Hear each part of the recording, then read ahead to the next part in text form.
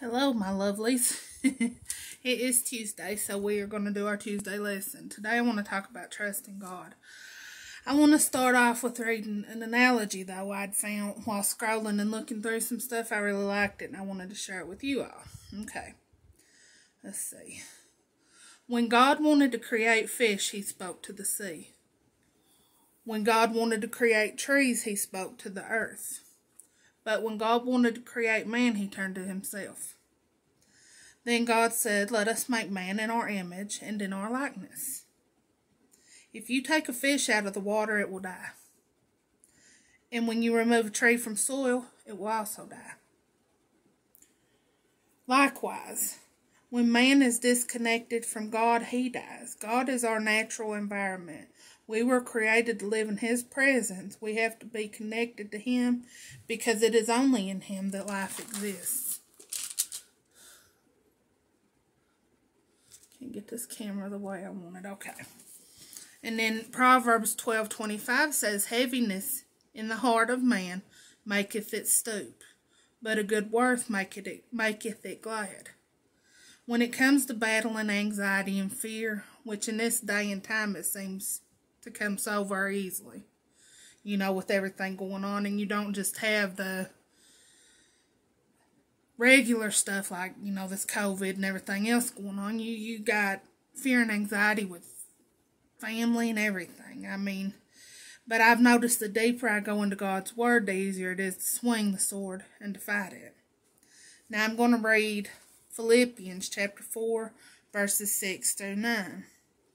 It says, be careful for nothing, but in everything by prayer and supplication with thanksgiving let your requests be made known unto God.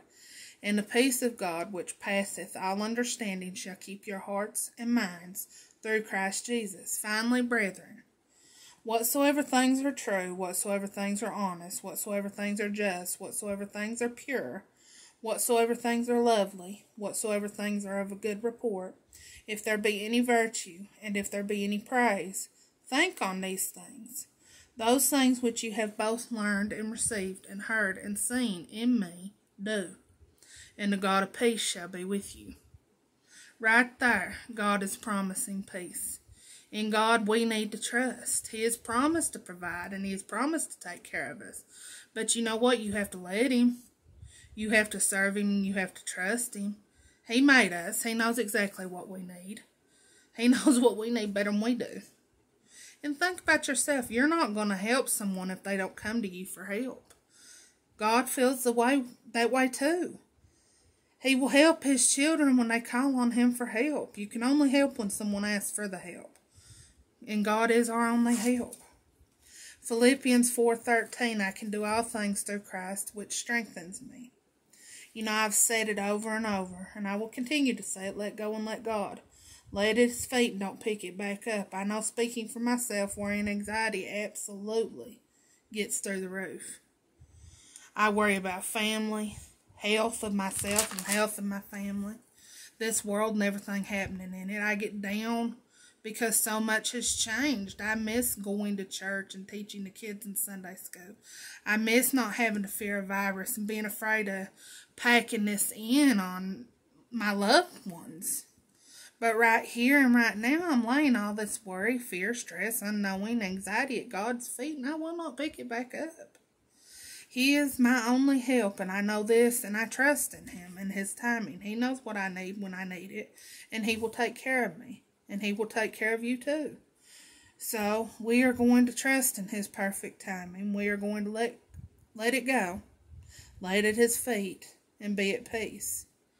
And I want to end this with saying we need to pray on it, pray over it, but most of all, pray through it.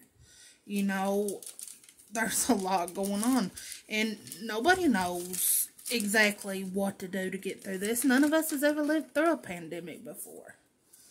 This is all new territory. And, I mean, I know eventually things will get back to some kind of normalcy. But right now, we just have to Trust in God. I love you all. I hope you have a good week. Have a safe week. I will be back Friday with our Fun Fact Friday video. Bye.